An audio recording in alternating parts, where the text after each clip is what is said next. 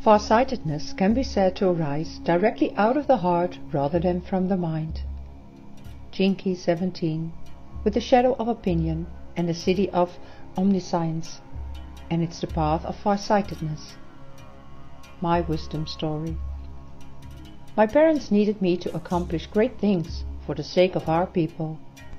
Even before school I was quizzed and readied for intellectual excellence. Fact gathering, test taking and structured debating were praised, while irrational emotions were discouraged. My detail-prone eyes were trained to detect flaws.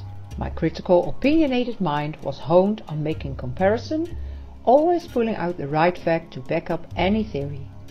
My intellect served me well as I became a good student, lawyer, then social critic. I did my research until I was certain about good, bad, right and wrong. My opinions were always on the side of justice and became increasingly humanitarian.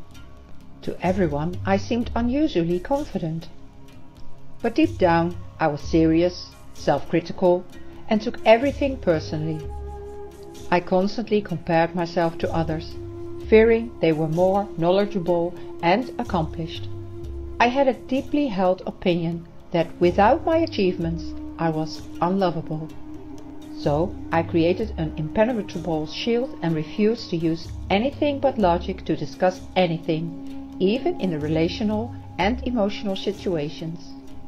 Beneath my seemingly open-minded and progressive views, I was angry. I held on to my opinions like a fundamentalist. I lost friends over disagreements. But when I lost the love of my life over a stupid argument, I woke up. And from that moment on, my mind became the loyal, brilliant servant of my loving heart. My gift to you. I am here to remind you that nothing, no opinion, theory, dogma or belief is more important than love. The only way to liberate yourself from the unhealthy grip of an opinionated life is to develop a sense of humor. True farsightedness requires you that you don't take yourself too seriously or what anyone says too personally. Laugh more. It's not about shutting down your brilliant mind, ignoring the patterns that you see or giving up on improving the world, but it's about being able and willing to see and feel every aspect of the whole simultaneously. Have all the opinions you want, but remember, you are not your opinions. You are so much more.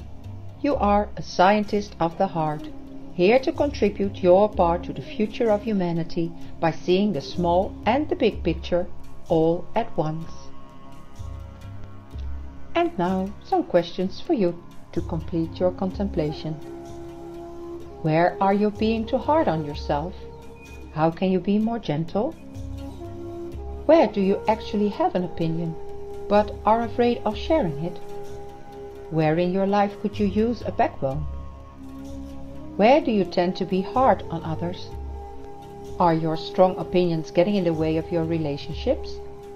Do you ever get caught up in defending your opinions or trying to convert people to see things your way?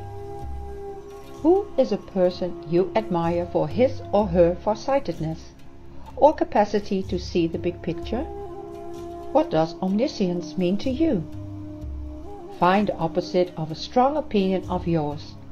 Sincerely look for evidence to prove this contrasting viewpoint. Stay open to what you learn. That's it. Much love and happy contemplating.